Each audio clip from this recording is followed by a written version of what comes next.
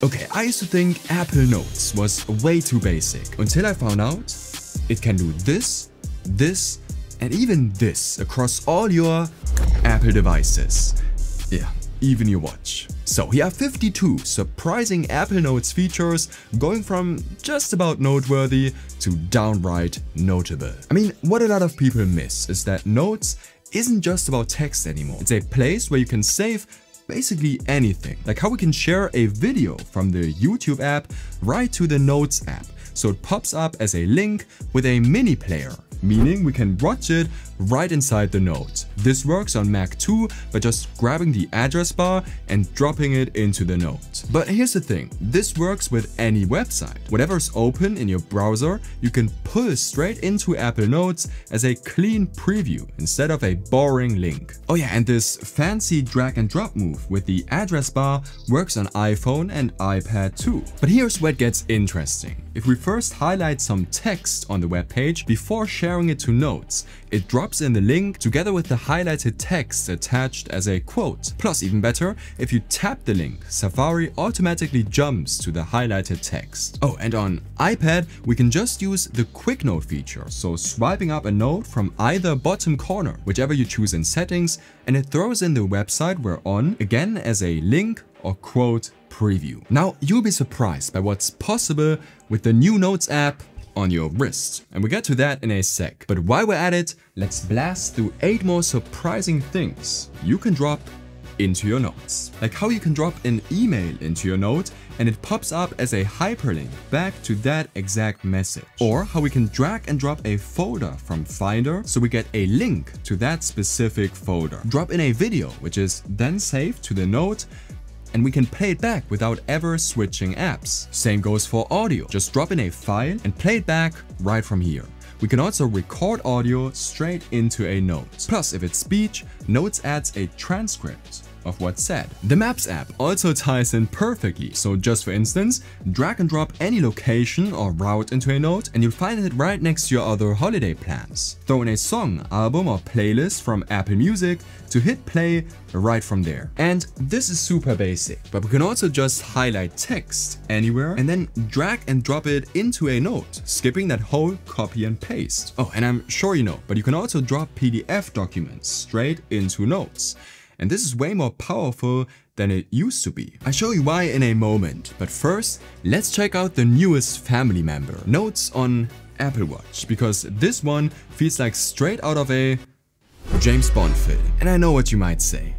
That display is way too small for Notes. Why bother? I say that's where Notes really shines, because sure, you can quickly glance at any note without needing to grab your iPhone. But look what happens with a checklist. We can tick off any items right from your wrist. Perfect for grocery shopping which yeah isn't very Bond. But here's where the spy vibes come back. We can create notes too and you can use the tiny keyboard but I usually go with dictation. So when an idea pops up, you can quickly jot it down from your wrist without your iPhone pulling you into distractions. And you can take this even further with the new watch face complications. And there's three options. A simple shortcut to the Notes app, your most recent note, or launching straight into dictating a new note. Plus, with notes now on the watch, we can also just ask Siri to create a new note, which probably is how I use it most. Sorry, I didn't quite catch that. When Siri finally gets good.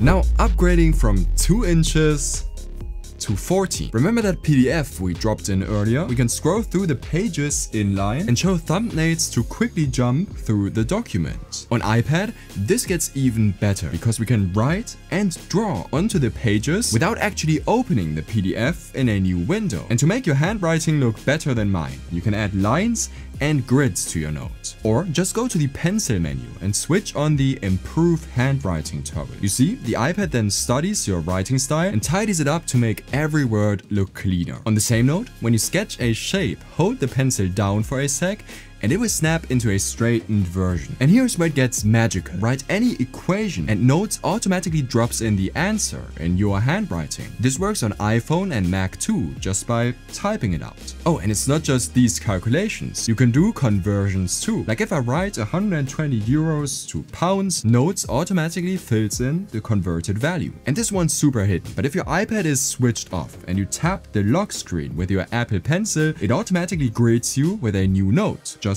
always ready notepad. Okay, seven more tricks before we unlock Pro level. On Mac, the list view isn't the only way to view your notes. We can switch this to gallery for larger previews. This also works on iPad. Speaking of which, on iPad and iPhone, we can add a quick note and new note toggle to the control center. This now works on Mac too with the new control center customization. The search bar up top looks through all your notes, but if you just want to search inside the one you're in, use the find in note options. Add headings and subheadings to collapse complete sections of your note and tidy it up. In the sidebar, you can also organize with subfolders. Just drag a folder onto another and then hide or show them. For your most important notes, swipe them to the right to pin them up top in any folder. And for your most secret notes, lock them up with either touch or Face ID or a completely new password so even people that know your device passcode can't see their cheeky content. Okay, here's where we step it up.